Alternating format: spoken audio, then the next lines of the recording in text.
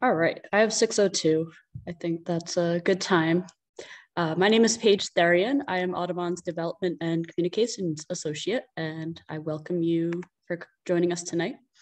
I will be the moderator, and as you know, we'll be hearing from uh, Priscilla De La Cruz, Audubon Senior Director of Government Affairs, and Dr. Charles Clarkson, Audubon Director of Avian Research. Um, we will have formal introductions in just a minute where you'll you'll hear from them as well as our executive director, Lawrence Taft. But first, I just want to do a couple housekeeping items. So as you saw, we are recording the meeting and this will be shared with everyone here. Uh, welcome to the couple people that just came in. Just doing housekeeping items at the moment. Um, so yes, the recording will be shared with everyone here, everyone who registered, and we'll also upload it to YouTube so you'll have access to review it and share it with people who couldn't make it. Um, and yeah, we just ask that you remain muted unless you're called upon. Um, we have Jeff Hall as our IT person in case you are having trouble with anything. You can message him privately in the chat and you can access the chat down at the bottom of your screen. Uh, yep, he just said hi. So you should be able to click on the little red bubble that just popped up and access the chat that way. Um, let's see. That's about it for housekeeping. Welcome to the couple people that just joined us. So our itinerary tonight, as I said, we're gonna hear from Lawrence Taft, our executive director in just a moment, and then we will have some quick intros from Priscilla and Charles. And after that, we're gonna do about 20 minutes of uh, discussion. So it's gonna be Priscilla and Charles going back and forth, answering uh, five or six questions that I'll be asking them. And these questions were kind of formed using the questions that um, that you, our viewers, submitted in advance. And we distilled them down to five or six questions using the common threads or common themes that um, that were present in all of your questions.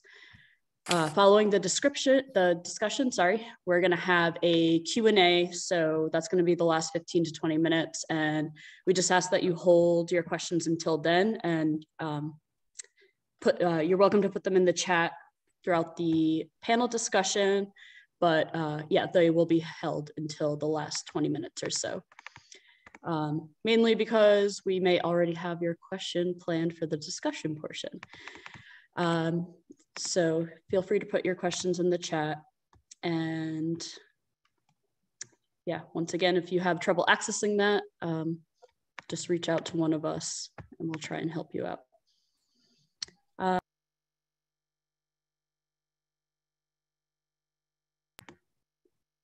sorry, let's get started. Uh, Larry, you're on mute, but welcome okay, you to give your, your remarks. Okay, hey, thank you. Uh, you're going to share the screen, correct, Paige? Okay. Uh, welcome, everybody. And thank you, Paige, for setting this up and organizing it. It's uh, very exciting to have our first town hall meeting, virtual town hall meeting. We have over 40 people I see who have tuned in. So this would be a big gathering of people. Uh, and I want to welcome you all to it. I'm just going to be very briefly get started because really you're here to hear Charles and Priscilla. But I, I just thought I'd back up a little bit and just kind of review what Audubon's about and what we're trying to do, and then they will take it from there. As you can see, the Audubon's mission is pretty simple to protect birds, other wildlife, and their habitats through conservation, education, and advocacy for the benefit of people and all of life. And you know, we have a very big ed environmental education program that we do every year with thousands of kids, school kids. Even during COVID, we still reached out to schools via the internet and these kind of presentations. And so we're continuing that. And of course, um, we manage an awful lot of land and 15 refuges, which are very important during COVID uh, for people to just get outside and to hike. So uh, those are things that are going on. Next slide, please, Paige. During COVID, next slide. Okay, during during COVID, we actually were able to uh, conduct a strategic planning exercise.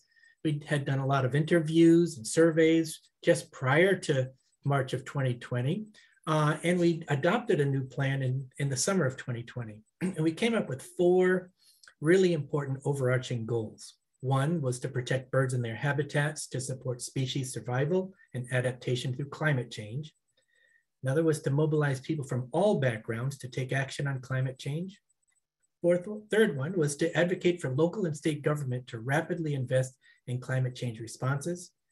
And finally, to transform Audubon into an inclusive climate change action organization. Now, you look at that and you can see what's running through that is climate change as being a very important topic, kind of the complicating thing to all of our work. Um, you know, when you think about the protection of birds and habitats, fragmentation comes to mind, but climate change just exacerbates that.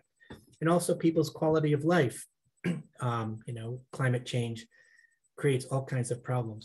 So we're going to, with this new strategic plan, we really started to decide we wanted to ramp up our understanding of the role of our refuges uh, with, uh, you know, in how they function especially for bird populations, and also start to reach out and really get more active in engaging other communities rather than just kind of the folks who would always kind of follow us. How do we get out there and engage other communities and really try to make some serious things that Audubon can be effective on with uh, regarding climate change and policy.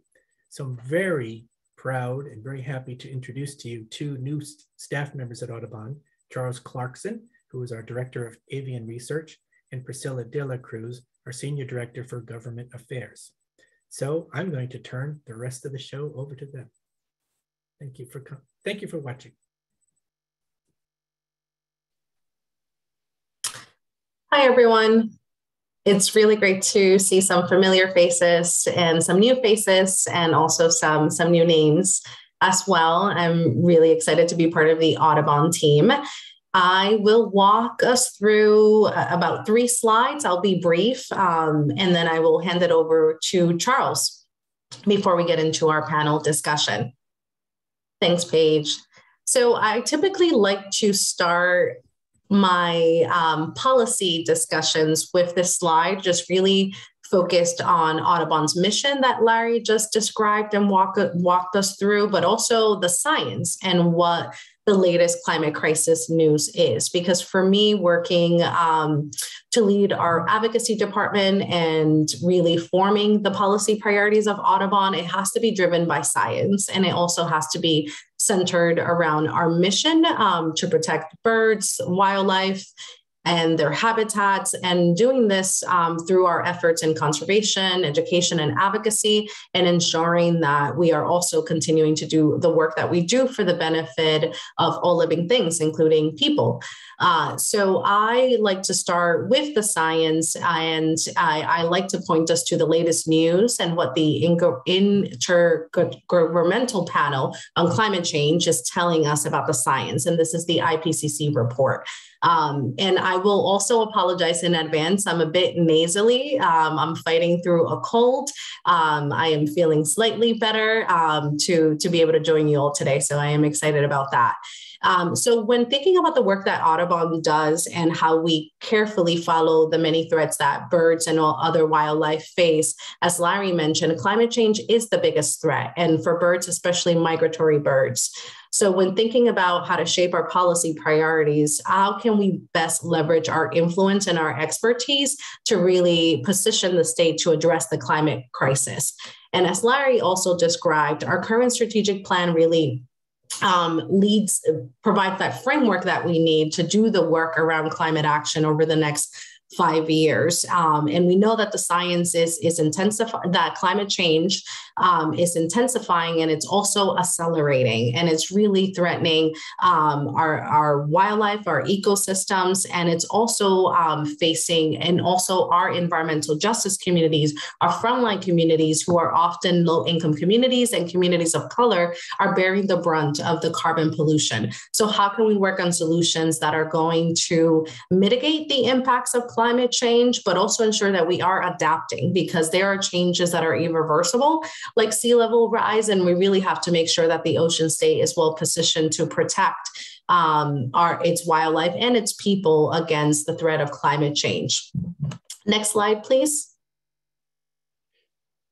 So, when thinking about the science and thinking about the climate crisis that is accelerating, um, this is one of the key reasons why Audubon has played a key role in advocating for immediate large scale reductions in greenhouse gas emissions to help avoid the worst impacts of climate change.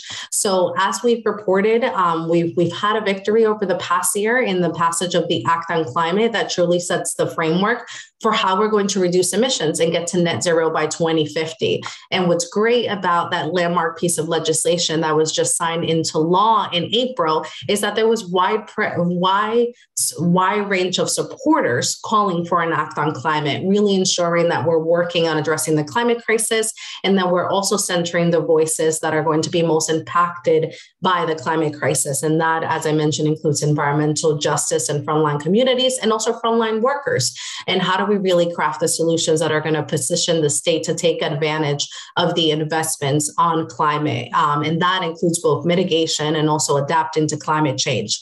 So, through our efforts at Audubon, we're going to continue to prioritize act, the Act on Climate legislation. Now that it's law, we have to work on really ensuring its successful implementation. So, there are, will be various opportunities for you all to also engage in this process. And from Audubon's perspective, we're going to be looking at the requirements of the act on climate. So it's not only getting about not only about getting to net zero by 2050 but how are we going to meet the targets the interim targets of 45% reductions by 2030 80% by 2040 and also how are we going to hold the state accountable to ensure that um, these binding targets are met?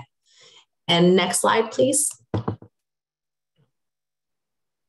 so I wanted to provide you with an overview of our 2021 legislative priorities. Um, Meg Kerr, who was our former policy director, now retired, led the effort. Um, in her previous role um, and guiding us through the success of seeing some of these legislative initiatives through passage. And as I mentioned, that included the Act on Climate. Now we're focused on implementation. And I will say one area um, for Audubon um, to follow closely is how that plan is implemented. Not only do we want robust engagement and transparency, but we also want to ensure that as we're looking at plans being updated, for example, the law calls for a um, greenhouse gas emission reduction plan of 2016 to be updated by the end of 2022. Well, we don't just want a simple update, right? We want to make sure that this report is very robust in its nature and that the plan is more expansive in areas related to land and forest conservation. How are we going to protect our, our, our resilient forests? How are we going to ensure that we're addressing the tension around solar siting um, with the urgent need of climate change and how are we also going to center environmental justice? So we're looking for a report that's really going to provide the needed framework for the additional requirements of the act on climate which will require a strategic implementation plan every 5 years starting in 2025 um, and the Act on Climate really paints the way for, I think, a lot of the other policy priorities that you will see Audubon engaged in. So I won't um, go into too much detail because I think we're going to cover a lot of ground here. Um, but other key policies that I will point out that we're seeing through implementation also include the Forest Conservation Act. This was a priority of Audubon last year. We wanted to ensure that um, we are looking at the values of forests and that we're looking at how to p- maintain um, the numerous benefits that forests provide. Um, so now we're looking at the Rhode Island Department of Environmental Management, DEM, to um, implement a forest conservation commission. Um, so stay tuned for that. I think this is going to help provide a vehicle um, that will provide additional recommendations as to how we assess the value of forests and how can we best support private landowners um, and help them conserve their forests. Um, and then I, I think we're going to have plenty of time to talk about solar siting. I've already hinted at the fact that we need solar siting reform. We need a comprehensive approach for how we're going to address this tension between protecting our resilient forests and also um, ensure that we are deploying the renewable energy that we need to meet the um, Act on Climate implementation that is required by law and ensuring that we're facing the climate crisis. And then last but not least, what was part of our priority, and I, I foresee it continuing to be um, at the center of our advocacy work, is ensuring that we are protecting pollinators and their habitat. So we will continue to move forward with working with DEM and legislators to help really regulate the use of neo um, neonics. Um, and this is a class of insecticides that affect the central nervous system of insects that have been linked to pollinator decline, and this is worldwide. So, how can we ensure that we are protecting pollinators that are critical to the health of our ecosystems and ensure that we are removing these um, neurotoxins that impact birds, wildlife, and also humans, um, and ensuring that we're regulate, regulating the use of those harmful pesticides and also banning them um, where and how we can. Um, and then to the right, just quickly pointing out, there are many other policies that we support, um, and we're part of a, a, large community of environmental groups through the Environment Council of Rhode Island, um, and also working with labor through a initiative called Climate Jobs Rhode Island. Um, so I will stop there. I'm looking forward to the discussion, and I am sure I am over my five minutes. Um, so Charles, over to you. I'm just Thank you very much, Priscilla. Back up the slides. Sorry. Go for it. Okay. So welcome everybody. Thanks so much for taking time out of your evening to join us. This is uh, this is fantastic. I'm so happy that there are so many people excited about these things that we're doing at Audubon and the direction that we're we're moving. Um, it's it's much needed. Uh, unfortunately, I consider this kind of an all hands on deck period for conservation. We've we've kind of blown right past those periods in which few people working through the night can get much accomplished on their own. This is uh, a period in which a lot of, of cooperation between multiple agencies needs to occur in order for conservation to be done correctly. Um, by way of an introduction, my name is Charles Clarkson. For those of you who know me from the Bird Atlas, um, I did coordinate the Rhode Island Bird Atlas for five years, cycled off of that as the grant ended into this new role as the director of avian research for Audubon. Um, and I'm extremely excited about the upcoming research that we plan across our refuge network and then hopefully beyond that to other agencies and land trusts in the state and forging more partnerships also at the state and regional level to try to come up with these very cohesive regional conservation plans for birds all across not just Rhode Island, but the Northeast.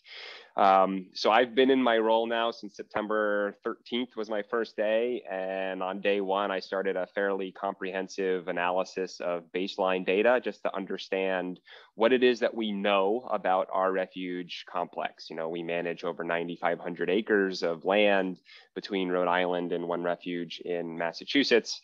And it's really important to get an understanding of not just what birds are there, but what habitats are there as well, because birds and habitats are inextricably linked to one another. And so we have been performing a fairly thorough habitat analysis as well as dredging up all of the information coming from recent sources of information such as the bird atlas to understand how birds use our refuge complex both during the breeding season, um, but also during the, the winter season as well, and, and during periods of passage um, in migration. Moving forward, these are the six kind of major bullet points that are going to serve as the guiding framework for how I will uh, work into the future, 2022 and beyond at Rhode Island Audubon. Uh, we are looking to establish a long-term monitoring protocol across all of our properties. And so data will be collected at the publicly accessible as well as the non-public refuges on what species of bird utilize those refuges for breeding, wintering, and migratory habitats, uh, what resources they rely on. So hand in hand with the bird data that we collect, we're going to be collecting habitat-based data as well, very similar to the Bird Atlas. So for those of you, I'm sure there are many on the call that have contributed in some aspect to the Bird Atlas as a volunteer, you're probably going to be familiar with the protocol that we develop for this, uh, this research that we're going to be undertaking. In addition to that, it's really important for us to understand more about our refuges in terms of how they are supplying the requisite requirements for these birds. You know, birds have an exceptionally energetically costly life, uh, and that's that's across the entirety of the year. And so understanding small parcels versus large parcels, whether or not there's an edge effect that could put species breeding in some of our smaller parcels at risk of increased rates of predation, for example. Those are questions that are going to be answered with the use of more targeted scientific research projects to include the establishment of acoustic monitoring stations in some of our Audubon parcels that might house some of our rare habitat types in the state. So getting a feeling for what species use these more rare habitats and what effects um, the edge or urbanized and fragmented habitats have on these on these parcels. I also am working uh, currently with eBird. Many of you are eBird users, and so you're familiar with the platform.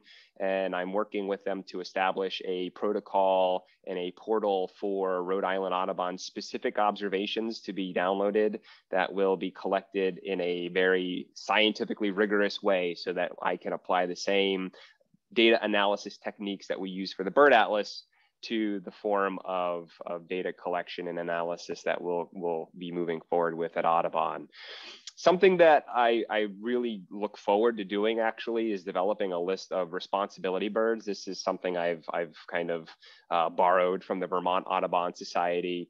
The idea being that for a large number of species that breed in New England, 90% of their entire global breeding distribution falls here in New England. And so they're not found anywhere else on Earth. And so for many of these birds, while they might not currently be in decline, it is our responsibility as stewards of the environment to do what we can to ensure that the habitats they require stay in perpetuity for them to use.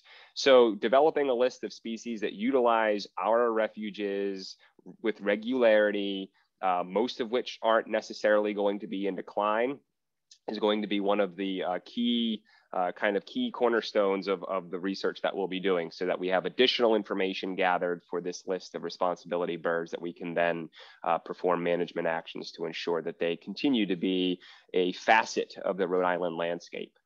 Um, number five, establishing ourselves as a scientific partner, both through uh, co-production here in the state by working with other state agencies like the DEM and other land trusts, but also regionally. So working with other state Audubon societies as well as universities throughout New England becomes really important for allowing us to be cohesive with the amount of scientific research we're doing and ensuring that the data we're collecting here are comparable to the data that are being collected across New England um, and even into Southern Canada, because a lot of our, our partners throughout the region are, are interested in the exact same metrics of conservation that we are.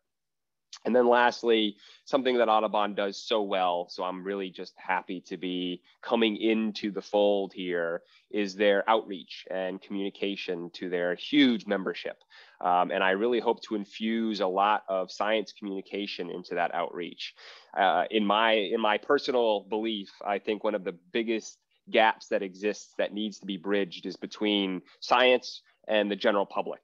Um, a lot of information comes in on a constant basis about conservation needs of wildlife populations, about um, habitat destruction, climate change, and not much of it is disseminated in an effective way to the general public. So in my new role, I hope through the management of both a blog and a newsletter to be able to reach out to all of you and beyond uh, and explain some of the newest research coming out, what it's telling us about bird populations, what we can do from a practical standpoint to help those populations. And then when we do our work here at Audubon, communicating effectively the, um, the actual results of those studies to you so that you understand and become vested um, as a steward for Rhode Island wildlife in, in the work that we're doing. So that's just a very brief introduction uh, to, to my plan moving forward. And I may have already answered some of those questions that are being, going to be asked as part of this town hall, but I am happy now to kind of kick it back over to um, Paige and let her take the helm and, and, and start with the town hall. Thank you. And thank you both. Uh, it's been a pleasure working with you so far. So we're really excited to have you on board. So like I said, we have about 20 minutes for um, the discussion and then we'll move on to a Q&A. Uh, so our first question is, what are A Audubon's avian research and policy goals or top priorities for 2022? Why? Please include any federal priorities too, if any. And obviously kind of already covered some of these, but um, really looking looking ahead to 2022 and what may already be happening behind the scenes. So uh, Priscilla, if you want to go first. Sure, happy to go first. Uh, so I've alluded to some of those um, priorities that um, will inform our le- legislative agenda going into 2022. And I think a lot of it is just picking up on the amazing work um, that the advocacy department was doing last year and making sure that we're seeing that through fruition in 2022. Um, so, for example, just quickly going down the list again, um, I talked a lot about solar siting. Um, last year, there was a focus in closing, um, we refer to a 10 megawatt loophole um, where we were seeing um, small solar farms being co-located next to each other um, and then we were seeing further um, further impacts to to forests um, by navigating that loophole. And just you know you'll have one one parcel um, on this side of the road and then another one on the other which that is still something that we want to address. Um, but one of my goals um, uh, for Audubon going into 2022 is that we're working on a comprehensive approach and really addressing um, solar siting, that we're looking at this in a very comprehensive way and thinking about um, right now, um, the reality is that it is cheaper to develop in um, open forest space. So, how can we flip those economics? How can we look at our, our successful um, renewable energy programs and really ensure that we're incentivizing? Developing in the areas that we we define as preferred um, when thinking about um, gravel pits when thinking about of course rooftop and thinking about parking lots um, and putting solar canopies there. We're thinking about brownfields. So again we have to go through this process of building consensus um, with the um, environmental advocates developers legislators and really making sure that we're defining those critical um, forest areas that we do need to protect Um, because forests do play an essential role in helping us also meet our Act on Climate targets. There's there's benefits of carbon sequestration, so we really have to address this balance. So I see that as a top priority for us, and I also see that as an important priority in helping us implement the Act on Climate. If we are going to move off a fossil fuel based economy and deploy more renewable energy, we really need to figure out what that balancing act is. Um, and also, in addition to those two policies, um, looking at our continued work on protecting pollinators um, and working with state legislators in regulating um, harmful harmful pesticides, and really figuring out how can we get um, a bill that we have been working on the past couple of, couple of years across the finish line. So, in the coming weeks, we'll be having meetings with um, the Farm Bureau, with the Rhode Island um, DEM, um, policymakers, and some of our um, partner advocates to really ensure that we can move something forward. And also, I should mention that a key partner has been the City of Providence, who's really leading by example and saying, you know, for our large scale commercial use and managing our parks, um, our, our properties under the Parks Department, we're not going to use harmful pesticides. And Audubon has been a key part of that work in helping to inform a report um, in pesticide management and best practices, leading to the launch of a Providence pesticide free campaign. So we want to do more of that work of showing that example um, and really making the, the public aware of why we need to protect pollinators and how essential that is to protecting the health of our ecosystem, but also in protecting um, not only birds, wildlife, but also humans from these neurotoxins. Um, so I foresee that continuing to be a priority. And also, um, last but not least, environmental justice. I've mentioned um, environmental justice several times and really looking at that as uh, how do we center that in our policy approaches? And how can we as audubon be better allies to environmental justice and frontline groups that are working on the ground um, to protect their, their communities from carbon pollution? Um, so i'll stop there. Charles over to you. Wow. I think this uh, town hall needs to be like three hours long. I don't think one is enough. Um, yeah, I don't want to talk too much about this specific point because I know you have other questions to ask us. I'll just add in, you know, a lot of of what Priscilla uh, just talked about is is going to be aided by the information coming in from the research that we're doing. Um, you know, the bottom line is Rhode Island is the second most urban state in the country, and yet 50% of it is forested. And solar siting is inordinately important in a situation like that because you don't want to take this core patch of oak hardwood forest that is so important for our breeding bird population in the state and turned it into a solar field. Um, so it, addressing solar siting and responsible solar siting is going to be a huge interplay between advocacy and the work that Priscilla's doing and the research that we're doing to understand more thoroughly which species are so heavily reliant on these habitats, particularly from targeted studies done on our refuge complex. Um, you know, the the fact of the matter is for from my perspective for what i have in store for 2022 is that we need to understand a lot more of, of the baseline data uh, from our refuges. So although i did dredge up information that we had collected during the bird atlas you have to understand that we surveyed only 20 of the Audubon refuges as, as part of the that bird atlas effort and and that the total terrestrial landmass of those of those 20 refuges amounts to six tenths of 1% of the terrestrial land mass in the state. So 0.6% of all the land in the state of Rhode Island was surveyed um, during the bird atlas for, for Audubon refuges. And yet 49% of all the birds found in the entire state were found on that 0.6%. So that, that tells you a lot about how conserved open space in general supports breeding bird populations.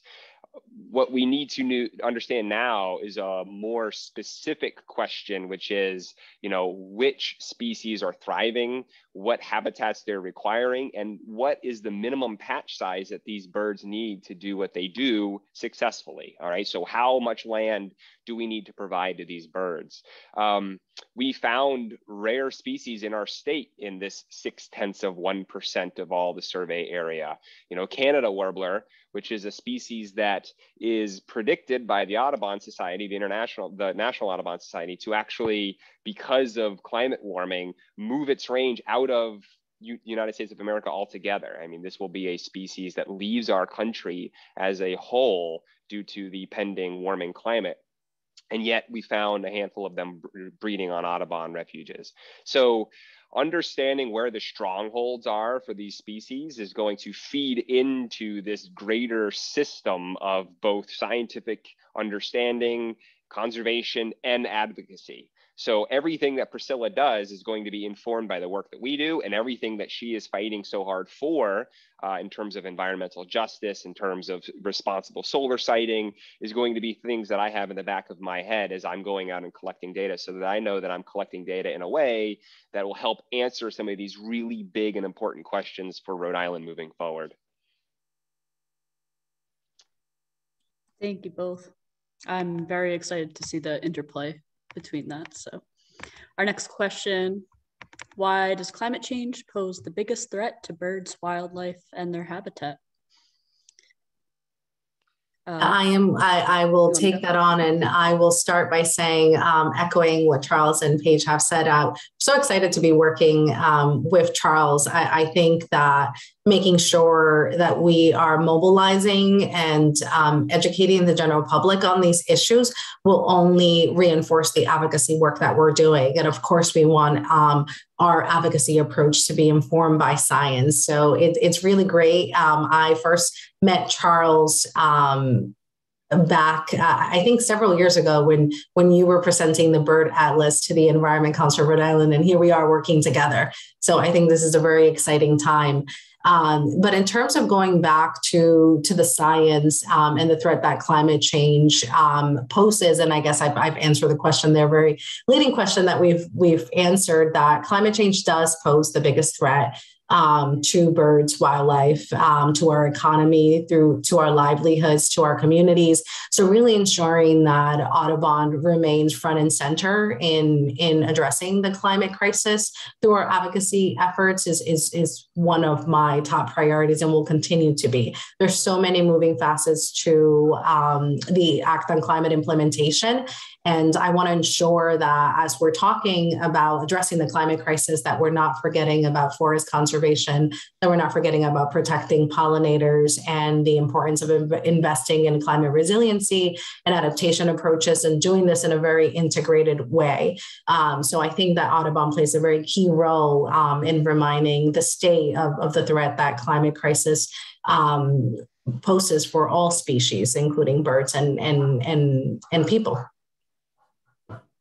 Yeah, that, that's great. I mean, in my mind, like the holistic um, picture of climate change is is quite dramatic when you consider how many proximate drivers there are uh, regarding the, the decline of so many wildlife species, principally birds, is which we're, we're focusing on here um, tonight. And, you know, there was a time when the ultimate driver of, of bird decline could be identified. DDT is a classic example of it. And through hard work and legislative action, we were able to reverse that effect and see populations of birds rebound as a result of banning this harmful chemical that was being applied liberally to our landscape it's not like that anymore. Climate change is a is a really massive problem that has fueled multiple drivers that have all contributed to the decline of wildlife species. So you're not just talking about one avenue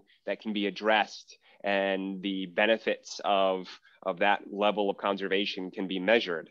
You know, the, the bird populations are suffering as a result from habitat loss and degradation, uh, a rising sea level, warming climate, shifting habitats, changing phenology of the world around them. And, and all of those things need to be addressed. There's not one driver that is going to be contributing the most to avian decline. And so unfortunately, that's why I consider this kind of an all hands on deck period for conservation. It's there are multiple fronts that we're battling. You know, there are thousands of birds dying off during southbound fall migration as a result of forest fires in the West. And we're documenting that now. And that's not been um, a phenomenon that we've that we've known about for decades. And so now all of a sudden it's something that we have to consider. Um, on top of species like the salt marsh sparrow uh, that is in decline and is projected to go extinct because of rising sea levels, pinching this particular species in between a rising sea and a hardened landscape uphill um, in the in the upland uh, habitats. So the the questions you ask are going to be very species specific because every species is being impacted differently and the suite of those factors that are contributing to species decline is just getting bigger and moving faster. If you think the the pace like uh, Priscilla alluded to earlier, the pace of climate change is is quickening. You know, things are starting to move forward much faster now uh, than they ever have before. Background extinction rates, which is the the natural rate of extinction, is 100 times higher now than it was 50, 60 years ago. Um, and so we are faced with this really uh, dire situation in which we need impassioned people doing lots and lots of hard work to try to stave off the declines. The bottom line is birds have been on this planet for 160 million years, and they have been slowly changing alongside an, uh, an environment, a climate that has also been relatively slow to change. And now they're being faced with this very rapid change in an environment and in a climate system that they are not able to keep up with. Um, and so it's our job to provide them with the most resilient habitats they, that we possibly can so that they can weather the storm. Thank you. So we're getting pretty close to our allotted Q&A time. So I'm gonna ask uh, one of the questions and then we can always come back to the other two questions we had planned for the discussion if we don't have a lot of Q&A questions. Uh, so that being, how can our viewers, first of all, follow updates on the avian research happening at Audubon and advocacy happening at Audubon? And also, how can they get involved both with Audubon's efforts and out on their own? Um, get involved as in help with these issues.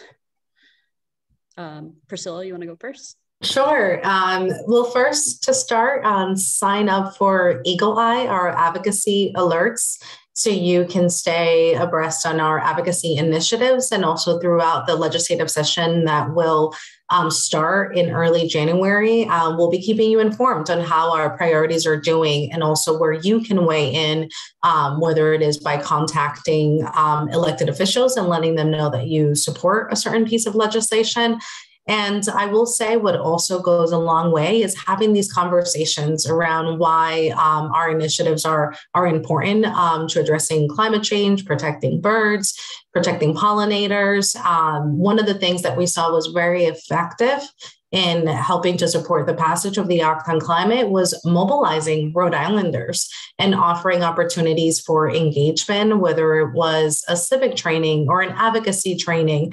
Um, so we'll continue to keep you informed on what those opportunities of engagement are um, and where you can amplify our, our efforts. Um, and I think that will continue to have a big impact. Like Charles mentioned, really engaging um, the general public um, and auto, you know, you all as Audubon members and supporters, I think plays a, makes a very big difference um, when we're at the state house pushing for policy solutions. Um, you know, elected officials um, are elected; they want to hear from constituents. Um, so when you say you support something, it really goes a long way. Yeah, and I'll just echo. Um, you know, I've been maintaining a blog since I started at Audubon, um, uh, and so that is one tool of communication that I've been using to convey the work that I've been doing.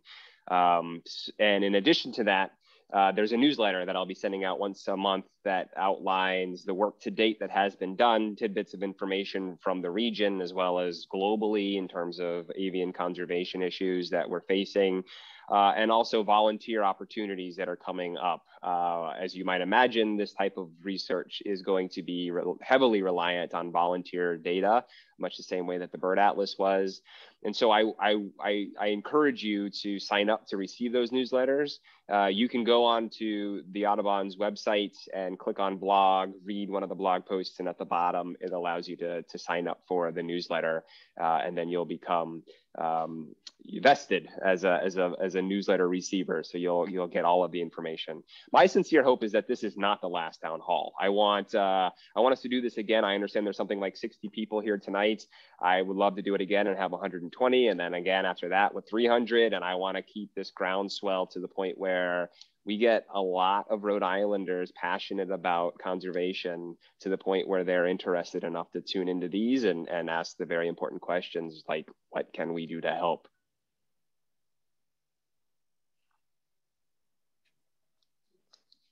I'm with Charles. I second that. I'm excited about future town halls and continuing the conversation with you all. And I think it's great to um, hear your input, your thoughts, and ideas, especially as we're working on the ground, whether it is on, on research or policy.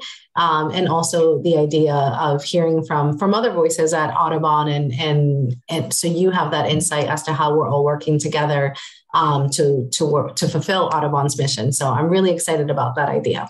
And I hope you are too. I agree. We'll definitely do more of these and definitely a little bit longer because we have so much good content for you. Um, okay, so we're going to answer a few questions that have gone into the chat. Uh, I'm just going to go in order uh, that they came.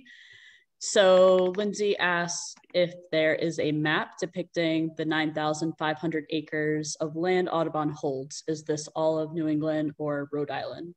I don't know. Um, maybe Charles, if you want to take that.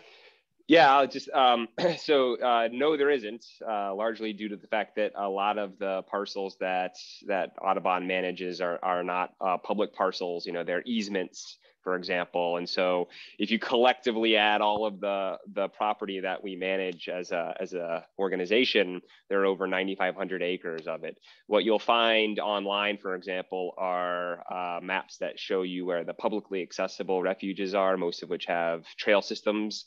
Um, and so a lot of these parcels that we manage are, are not accessible to the public. They don't have trail systems in place, but they do have habitat that requires a certain amount of management. And so uh, that map is not available. But to answer your second part of your question, uh, yes, with the exception of one refuge, all of that 9,500 acres exists in the state of Rhode Island. This is not all throughout um, uh, the, the region. So we do we do protect a lot of land here in our tiny ocean state. So next question from the chat. Um, Lindsay also said that many people are not aware of pollinators and what they do and how critical they are to our health and planet. And we definitely agree. We're trying to educate people more on that and um, getting involved with the advocacy will help spread the word. So, um, so next question is playing devil's advocate. If a legislator asked you, why are you so concerned about birds and what would what would be so harmful if we lose some birds? How could you ask a question like that? uh, Priscilla, would you like for me to go first on this or? Um, go for it. Oh my gosh, how could I even answer that? Because birds are awesome. Because uh, uh, because they're amazing and, and they're everywhere and they've they've in 160 million years they've managed to fill our entire planet and and they've done that and they've slid into all of these ecological roles playing these these incredibly important roles in the in the ecosystems in which they occur i, I liken it to so so paul ehrlich is a classic ecologist who who wrote a, a paper i believe it was in the 1970s where he likened all the biodiversity to uh, an airplane, a metal airplane with rivets all in its wings, right? And so through time, uh, because of extinction, because of hunting pressure, habitat loss, uh, you can lose some of these species. And so a couple of the rivets from the wings of the plane might disappear and they pop off the plane. However, that plane is still able to remain airborne. But should you lose enough of those rivets or particularly important rivets, then the entire plane crashes. Uh, and that's how you have to think about biodiversity everything is here because it it serves a purpose. It plays a role right? There is this incredible interconnectedness in nature between everything not just the birds but the birds the habitats they live in the the resources they require for food for nesting um, the mammals and reptiles that like to eat those birds. Everything is connected. And so if you pull one thing you find that it is linked to everything else. Um, so it would be you know the, the idea of coming up with ecosystem uh, ecosystem worth. So, what is an ecosystem worth? What are the players in that ecosystem worth? Is a fairly easy thing to do to define the actual roles an organism plays within an ecosystem in terms of its ability to pollinate, for example, um, in the case of hummingbirds, if you're talking about birds specifically. Um, but birds are important because they serve a very specific role in the habitat in which they are found. And without them, that habitat would not function correctly. And the, the habitat is required to provide us uh, with the resources that we, we require to, to survive and to thrive on this planet. I don't know if you wanted to add anything to that, Priscilla. That's a tough I'll question add, to answer. I'll add something. Go ahead, Larry. I mean, I don't think that people truly appreciate, or maybe not maybe this crowd does, but certainly a lot of people don't appreciate the ecological services that birds do provide. Um, one good example is um, the use of birds in California for uh, pest control. Organic wines out there, um, they'll put bluebird boxes in between the rows to um, lessen the, the, the insects, and they save a lot of money and um, help you know, reduce the use of pesticides. So, you know, that's one concrete example. And you think about if it weren't for swallows and bluebirds and that kind of thing, how many more mosquitoes and black flies there would be. So even at a, you know, small selfish level, um, birds are important.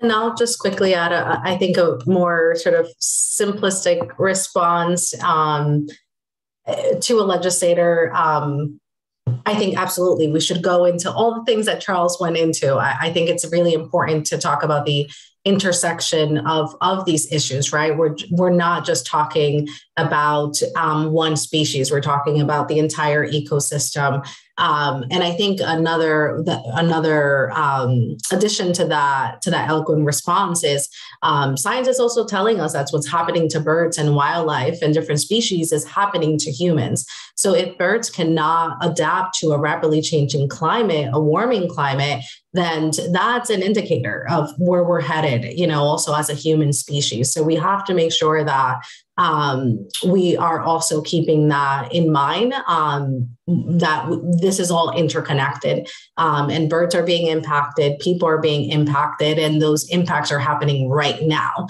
um, so we're very vulnerable as as the ocean state um, and also one of the other things that i that i'll say that we get as um, that we often hear from legislators is like, well, Rhode Island is so small. Like, what impact can you actually have in addressing the climate crisis? And it's like, well, you know, our small smallness is our asset. We have to position ourselves as a leader in addressing the climate crisis. And it's a sum about it's a sum of all these moving parts. So we need all states we need all countries to take an active role in addressing the climate crisis. And we play a very critical role from my perspective um, from an advocacy standpoint um, you know and, and looking our our composition as a state. It's very interesting when we have 400 miles of coastline. And then like charles said we have over 50% of our land is forest land. So I think we could be a really great example of how addressing the climate crisis can be done in both mitigating climate change and also adapting to this changing climate and investing in resiliency and how we can actually use it to have a thriving economy and really that we're creating the economy of the future. Um, and actually, one of my um, peers, um, Sue AnderBois at the Nature Conservancy, says that there's one economy, right? There's not just the blue, the green economy. We need to make sure that sustainability is across, um, is woven into every single part of our economy. So I'll stop there because I can continue talking for hours. Would love to hear more from you all. Thank you both. Um, so we have one more question from the chat. Um, and like I said, we did kind of skip over a couple of our more distilled questions that came kind of from your the major themes that you sent in. So I do apologize about that. This definitely was a learning uh, activity and we'll probably offer these a bit longer in the future. So that last question is, or next question is, what is Audubon Society of Rhode Island's land acquisition, if there is one program looking at in the future for securing lands in perpetuity is the TNC's resiliency tool part of that program. I'll lead off. So, okay. Yeah, well, 95%, if not more, the land that Audubon owns and protects was donated properties. They came to us uh, over the years, starting in 1923, right on through uh, to the present day. And we, um, we, I'd say Audubon was the only game in town. We we're the only organization around that people could look to to try to protect land. These are very generous, conservation-minded people. In the meantime, um, kind of starting in the late 1980s and 90s, um, Audubon would then, you know, uh, seek funds through the state or the Nature Conservancy um, and try to purchase some critical pieces, generally where the state and the Nature Conservancy and Audubon all saw eye to eye on what pieces were the most effective to purchase and maybe most under threat. And generally the, um, the strategy, at least you know in the past 20 years that I've been with Audubon, has been to try to build upon the blocks that we've already protected rather than trying to get various little fragments. Um, that just seemed to be the most cost-effective way to do this.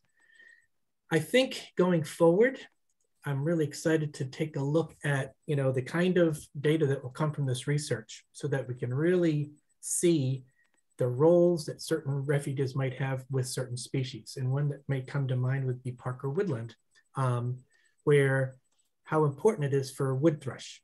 And in that, you know, we kind of take Parker Woodland for granted almost because it was donated to us back in 1941. Uh, you know, I, I, think a lot of agencies would see that, well, it's just oak woods. Uh, big deal. You don't see a lot of diversity. You don't see any rare habitats or rare plants necessarily, but there are a few. Uh, but taking a look at places like Parker or Eppley or Fisherville or some of the others and saying, well, these particular parcels are extremely important for these responsibility birds or the ones that are in decline or the ones that where it's a key uh, migratory stopover area for something like the Canada warbler that's got to make its all the way to Canada. Okay, what properties like those can also be um, secured? And again, in order to do this, it takes fundraising and maybe getting allied groups like the state open space or the nature conservancy or other foundations to see eye to eye with us and uh, prioritize those kind of properties i was going to say pretty much the same thing